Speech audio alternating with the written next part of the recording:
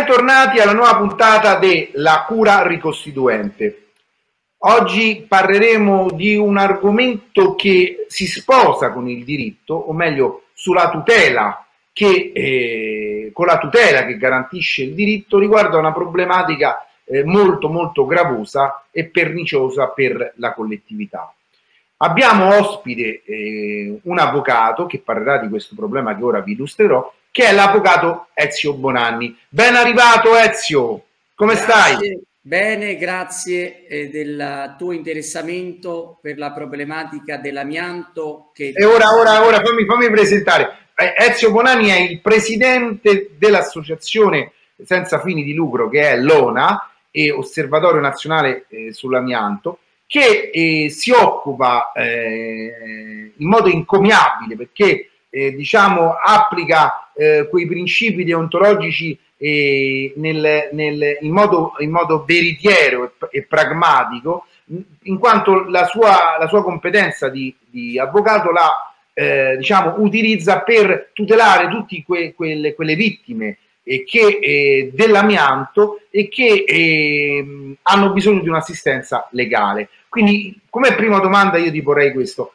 che cos'è l'ONA e di che cosa si occupa in modo specifico l'ONA? L'Osservatorio Nazionale per, per l'Amianto. Prego. L'ONA è un'associazione senza fini di lucro che ha raccolto il grido di dolore delle vittime dell'amianto e dei loro familiari e successivamente ha invece esteso l'ambito di operatività ai fini della prevenzione primaria e cioè di ottenere la bonifica e quindi la rimozione dell'amianto e delle fibre nei luoghi di vita e di lavoro per evitare le esposizioni e quindi i danni alla salute. È un'associazione che collabora con tutte le istituzioni, quelle territoriali, quelle regionali, quelle nazionali e in ambito internazionale e assicura una tutela che non è soltanto giuridica e legale, successiva magari al danno, ma anche tecnica e medica, al fine di prevenire i danni alla salute.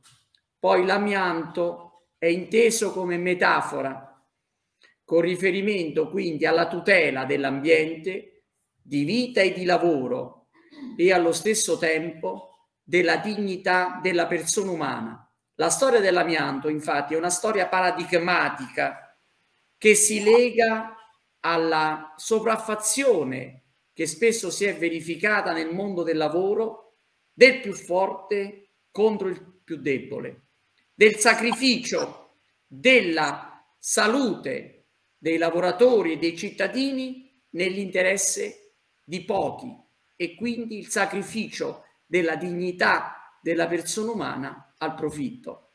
Ed è proprio questo che, avendo notato nella provincia di Latina già nel gennaio 2000 un elevato numero di cittadini e lavoratori deceduti prematuramente perché esposti all'amianto, abbiamo dato vita a dei comitati poi costituiti in associazione che ha ora sede a Roma naturalmente e sedi in tutte le regioni d'Italia ed una estensione d'attività che quindi va oltre quella prettamente giuridica o risarcitoria perché lavora per perseguire la finalità della prevenzione primaria rispetto a tutti i rischi, rischi cancerogeni estesi a tutti gli ambiti e i settori applicando il principio di precauzione e cioè eh, la necessità che preventivamente le sostanze immesse nel commercio o nella produzione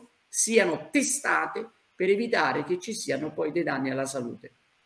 Ezio, consentimi, puoi fare un esempio per coloro che magari non hanno nemmeno idea che esista questo problema? Quali sono le tipologie di lavoratori o di cittadini comuni che sono risultati vittime dell'amianto? Cioè, in che contesto sono diventate vittime e dove era presente questo amianto?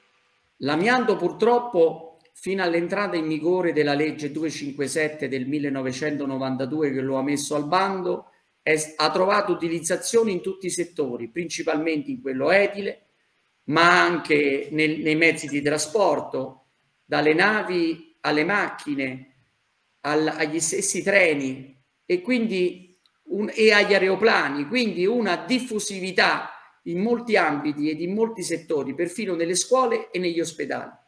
Ed è per questo motivo che il numero dei, dei malati e dei decessi è in continuo aumento.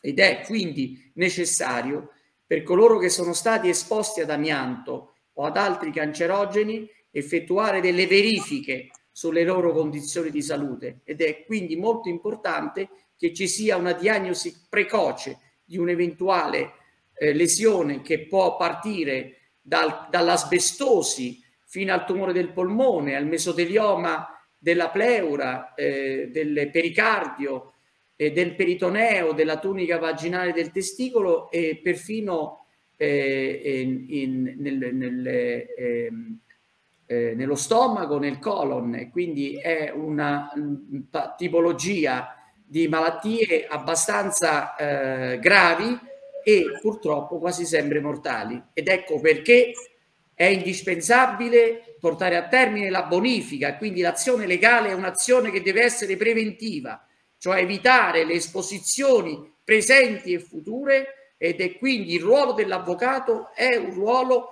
preventivo che deve agire nella situazione di pericolo, di esposizione. Ecco, allora io ti faccio questa domanda. Come può preventivamente un cittadino o un lavoratore essere consapevole di, eh, di, di, lavorare o di vivere in un ambiente in cui è presente l'amianto? Da, che, da quali elementi può dedurre ciò? Allora, lo può dedurre innanzitutto consultando la nostra app Amianto da, nella quale sono censiti molti siti. Poi, naturalmente, negli, nei nostri organi di informazione come il giornale dell'amianto piuttosto che il giornale dell'ambiente e nei nostri siti istituzionali. In ogni caso bisogna stare molto attenti agli immobili costruiti prima del 1992 ed in modo particolare dal 60, dagli anni, primi anni 60 al 92 dove ha avuto più largo utilizzo l'amianto e poi si vede dalle vecchie onduline il, il famoso Eternit che è il cemento amianto, poi nelle vecchie navi o nei vecchi ehm, de, mezzi di trasporto ferroviari. Naturalmente tutto ciò che risale al, ad un periodo specifico, dai primi anni 60 al 1992, fermo che è stato utilizzato anche prima, negli anni 40 o 50, ma in misura minore.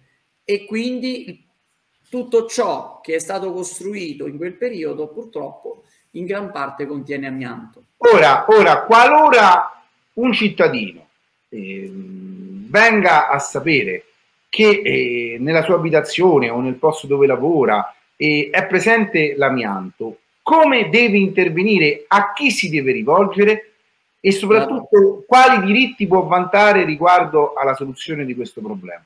Allora, la domanda è specifica, pertinente ed azzeccata. Allora, innanzitutto occorre chiedere la bonifica dell'amianto presente. Questo dipende anche dal grado di aerodispersione e quindi dall'indice che è legato allo stato di manutenzione del materiale e dalla matrice. Quindi se c'è cemento amianto ed è ben manutenuto, c'è uno scarso rilascio di fibre le quali possono essere in, eh, in qualche modo inglobate attraverso l'utilizzo del liquido aggrappante, quindi ci può essere anche una forma di bonifica e di messa in sicurezza con questa formula del liquido aggrappante, oppure con il confinamento che cos- consiste magari nel costruire una parete a fianco ad un'altra parete in cui c'è amianto ed evitare la dispersione delle fibre. E in generale deve specialmente se si tratta dei luoghi di lavoro, sollecitare la messa in sicurezza, se è casa propria naturalmente all'interno rimuoverlo, se è in un condominio sollecitare l'amministrazione di condominio, se è magari nel condominio accanto chiedere l'intervento della ASL. Purtroppo con la bonifica siamo molto indietro. Ecco, scusa, scusa ti interrompo, tu dici di intervenire, ma mica può intervenire il, il, il proprietario dell'immobile, dovrà riferirsi a una ditta specializzata per fare certamente, questo. Certamente, eh, Vediamo questo passaggio. o imporre o, o, o, diciamo indurre, se non imporre, l'amministratore eh, di condominio, qualora ci sia un condominio, che, di riferirsi a una società spe- specializzata in questo Bravissimo. tipo di intervento. Bravissimo, eh, anche questo tuo intervento è molto pertinente e molto preciso, quindi deve intervenire segnalandolo all'ASL e allo stesso tempo segnalarlo anche all'amministratore di condominio, di quel condominio nel caso del condominio accanto, se è confinante. Se nei luoghi di lavoro, naturalmente chiedere alla, alla rappresentante del lavoratore per la sicurezza ed in ogni caso ai, allo stesso datore di lavoro o alla dirigenza aziendale. E qua è il nodo dolente perché in Italia siamo molto indietro con le bonifiche. E a, a 31 anni dall'entrata in vigore della legge 257 del 1992 solo una minima parte dell'amianto, ahimè, è stato bonificato. E quindi continuano, sono continuate e continuano purtroppo quelle esposizioni morbigene che, da, che daranno un effetto nei prossimi 20, 30, 40 e 50 e quindi continueranno a morire le persone a causa di questo amianto. Esattamente, proprio perché c'è un certo ritardo nella bonifica ed è questo il ruolo centrale dell'avvocatura. Perché quando ho iniziato nel gennaio 2000 ad occuparmi di questo problema c'era un unico precedente legato a Casale Monferrato e il rischio amianto era un rischio praticamente non conosciuto. E ho iniziato dalla provincia di Latina per poi proseguire a Roma, dove già nei primi anni 2000 ho curato la presenza di amianto eh, nella Fonte Appia, nei cantieri Cana- Canados, eh, in vari altri siti e nella Cotra, quindi nei mezzi di trasporto pubblici della Cotra, quindi le, anche eh, nei sì, aspetta, questo è importante, quindi tuttora, tuttora in alcuni mezzi di trasporto pubblici vetusti. sono presenti degli elementi di amianto. Di amianto, certe volte anche nelle vecchie metropolitane. È scandaloso.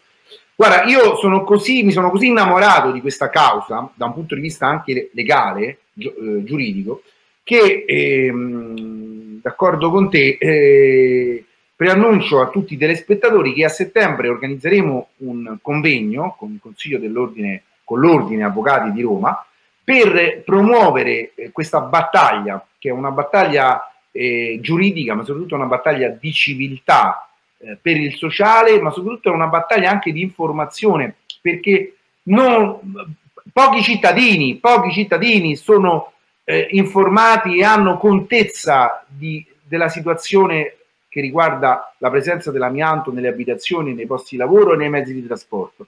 E noi dobbiamo informarli, dobbiamo eh, renderli e partecipi di un fenomeno che è molto più presente di quello che si possa immaginare. E quindi eh, faremo questo convegno che avrà dei risvolti giuridici ma anche informativi e sociali affinché tutta la cittadinanza sia consapevole dei danni che sono stati compiuti, che continuano a essere reiterati, che probabilmente ci saranno ulteriormente nei prossimi anni finché non ci sarà una bonifica radicale dell'amianto che è presente nella nostra società. Io ti ringrazio perché eh, la tua intervista, la tua testimonianza non è solo una testimonianza eh, giuridica, ma è una testimonianza sociale eh, di grande, grande importanza che testimonia allo stesso tempo anche quanto l'avvocatura possa essere esercitata non per fini eh, diciamo prettamente professionali, ma anche per fini decisamente sociali e diciamo ehm, dando quel profilo eh, di eh, funzione costituzionale che l'avvocato dovrebbe avere. E quindi ti ringrazio di questo tuo intervento e ti ringrazio soprattutto di, di questa tua eh, missione, perché è una missione per certi aspetti, che eh, nel mio piccolo cercherò di darti eh, il mio contributo. Eh, grazie Ezio, grazie. Eh, diciamo che concedimi questa battuta a nome nomen con il fatto che ti chiami Bonanni come la prima parte del mio cognome e, e ti ringrazio nuovamente a nome di tutti, anche dei telespettatori, di questa tua battaglia. Bene. Che sarà la nostra battaglia. Bene, grazie e a presto. Grazie alla prossima, alla prossima volta che continueremo a ritirare eh, questo tema, ma soprattutto a monitorare questo gravoso problema. Grazie di nuovo Ezio. Grazie a te. Amici, spero di aver fornito voi un servizio informativo importantissimo Invito tutti voi a informarvi ulteriormente prendendo spunto da questa puntata perché il problema dell'amianto è molto più gravoso e problematico, ma soprattutto è molto più eh, presente nella nostra società eh, più di quanto noi possiamo immaginare. Grazie della vostra attenzione e alla prossima puntata della cura ricostituente.